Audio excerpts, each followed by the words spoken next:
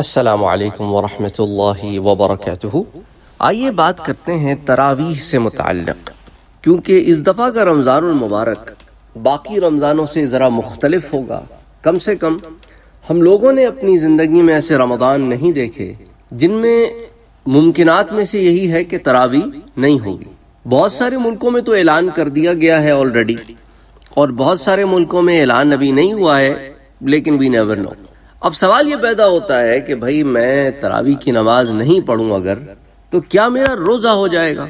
तो आइए आपको कुछ एक दो बातें बता देता हूँ, फिर उसके बाद इन ताला इस पर बात करते हैं। हुजूर अकरम सल्लल्लाहु अलैहि वसल्लम का इरशाद पाक है कि जिसने ईमान और एहतसाब के साथ रमज़ान के रोके, रोज़े रखे और इसकी रातों में कयाम किया।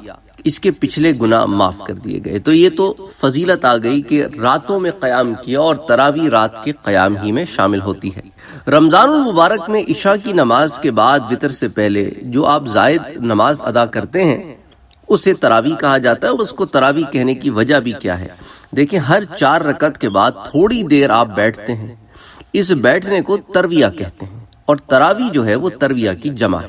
तरबिया के मानी होते हैं इस्तराहत, यानी थोड़ी देर आराम करना। जो राहत आपको यहाँ पर आती है, थोड़ी देर आराम करने से, इस राहत ही को तरविया कहते हैं और इसकी जमा है तरावी। इसलिए इस नमाज़ को तरावी कहा जाता है। हुजूर अकरम सल्लल्लाहु अलैहि वसल्लम का इरशाद पाक है कि नमाज़ मेरी आँखों की ठंडक है। इसी तरह एक और हदीस में आता है कि रोजेदार के लिए दो खुशियाँ हैं, एक इफ्तार के वक्त और दूसरी खुशी उस वक्त जब अपने रब से मुलाकात करता है। तो बज़ाहिर ये मुलाकात एक तरीके से अगर आप देखें तो इसके दो मानी भी हो सकते हैं। बाजुलमा ने इसका एक माना यूँ बयान किया है कि देखो, जब उसका इंतकाल होगा और रोज़े महशर में अपने रब से मिलेगा तो वो खुश हो जाएगा अमाल को देखकर। जो इसने बहैसियत रोजेदार किए और रोजा बहैसियत खुद एक बहुत ही नेक अमल है। और दूसरे इसका एक मतलब ये भी निकलता है इस हदीस मुबारक का जो हुजूर ने कहा कि अपने रब से मुलाकात करता है कि नमाज़ भी तो रब से मुलाकात ही है। तो इसलिए पहली वाली बात जो हुजूर ने फरमाई इस हदीस मुबारक में कि एक तो उस वक्त जब इफ्तार करता है, यानी अब रोजा रखा ना, सारी दिन उसकी इतात में गुजारी। और दूसरी खुशी उस वक्त जब अपने रब से मुलाकात करता है, यानी कि रात में क़यामुल्लैल करता है, तरावी की नमाज़ पढ़ता है तो अपने रब से मुलाकात करता है तो ये दो चीज़ें उसके लिए बेहद खुशी का बायस होती अब इसके बाद बात करते हैं कि हमारे यहाँ कुछ चीज़ें बड़ी मशहूर हो जाती हैं, फिर उसके बाद वो मशहूर इतनी ज़्यादा हो जाती हैं कि फिर लोग उसको बगैर तहकीक के अपना लेते हैं। अब लोगों में ये मशहूर है कि जो रोजा ना रखे वो तरावी ना पड़े या तरावी के बगैर रोजा अदा ना होगा। हालाँकि इन दोनों में से कोई भी बात ठीक नहीं है, ये दोनों अमल एक दूसरे के ताबे नहीं है, दोनों का अलग अलग सवाब है। लेकिन अगर कोई शख्स किसी उजर की वजह से रोजा न रख सकता हो, वो नमाज़ तरावी अगर पढ़ सकता हो तो उसे ज़रूर अदा करनी चाहिए। उसे उसका अजर सवाब मिलेगा। इसी तरह, अगर कोई उजर है और उसकी वजह से आप तरावी नहीं पढ़ सकते तो देखिए ना, उजर यहाँ पर बड़ा ज़रूरी है। अगर कोई उजर हो तो इंसान रोजा भी छोड़ सकता है। कोई बीमार है, सफ़र में है, कोई और वजह है तो ऐसी हालत में फ़र्ज़ है, छोड़ सकता है। लेकिन सेहतियाब होने के बाद उसको अदा करना होगा। इसी तरह अगर कोई जानबूझकर छोड़ता है तो फिर सख्त गुनाहगार होता है। तो इसलिए अगर कोई शख्स किसी उजर की वजह से रोजा ना रख सकता, वो नमाज़ तरावी ज़रूर अदा करे।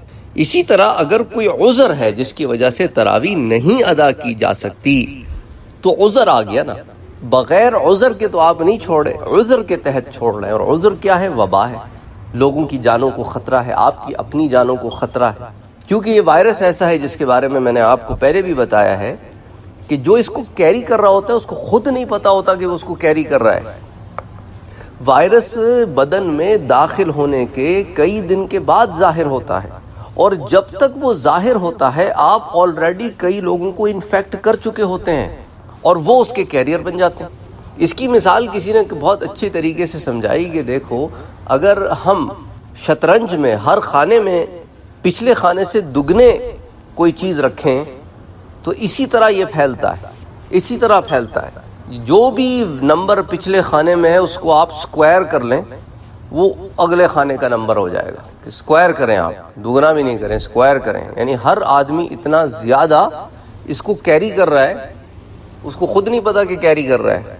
इसलिए लोग जज्बात में आके मसाजिद जा रहे हैं, लेकिन उसका असर क्या हो रहा है कि डॉक्टर्स हजरात, बाज़ अस्पतालों में जहाँ मुस्लिम पॉपुलेशन ज़्यादा है, वो कह रहे हैं कि 60 परसेंट केसेस हमारे पास, चाहे पाकिस्तान हो, चाहे इंडिया हो वो रिलीजियस गैदरिंग्स की वजह से भी आ रही हैं, मुसलमानों तो अब ये मामला है कि अब एहतियात लाजिम है। अब देखें ना, इतने सारे लोग मस्जिद में जमा हो जाए।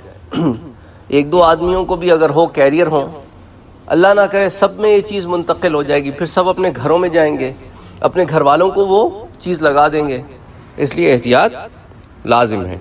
लेकिन ये बात अपनी जगह हक है कि आम हालात में जो लोग ईमान और एहतसाब के साथ रमज़ान की रातों में क़याम, यानी तरावी करेंगे, इनके सब पिछले गुना माफ़ कर दिए जाएँगे।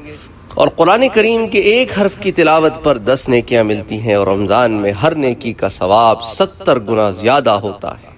तो अब इससे आप अंदाज़ा लगाएँ कि अगर आप उज़र की वजह से तरावी नहीं पढ़ सकते हैं तो अब आप क्या करें?